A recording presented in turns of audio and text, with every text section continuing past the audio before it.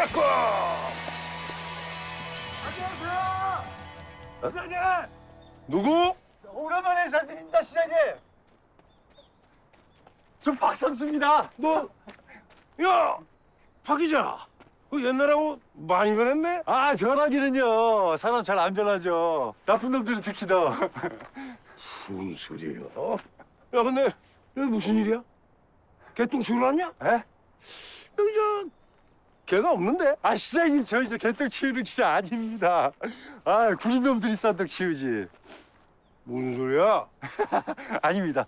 저기, 오랜만에 제가 볼 좀 던져드릴까요? 어, 그래. 오랜만에 한번 던져봐라. 예. 자. 자. 자. 와!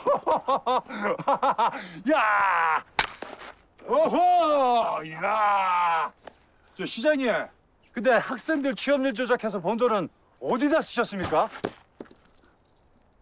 너 지금 눈에 뵈는 게 없냐? 아, 또 이 제 주특기가 이렇게 안 보이는 걸 이렇게 싹 보이게 하는 거 아닙니까?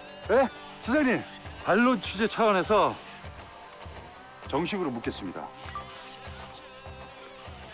취업률 조작으로 42억 편취, 엄승택 학생 사망 보상금 가로채기, 기간제 교사 동원해서 교육청 관료 술접대하기, 정관계 법조계 자녀, 교수 부정 채용.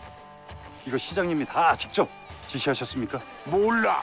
알아도 몰라 이 새끼야. 너 어디서 이딴 걸 물어? 이런 거 물으라고 기자가 있는 겁니다. 닥쳐!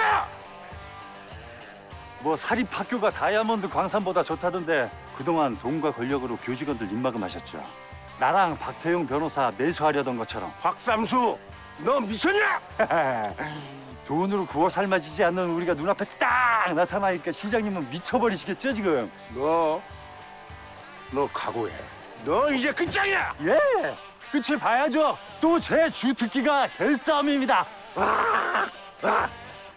시장님이 돈으로 막은 입은 나랑 박태용 변호사가 다 열었습니다. 수백 명이 우리 편으로 들어섰어요. 소설 쓰고 자빠졌네. 이씨. 시장님 앞에서 침묵하던 사람들이 진실을 말하고 그 힘이 합쳐져서 세상이 어떻게 달라지는지 곧 보여드리겠습니다.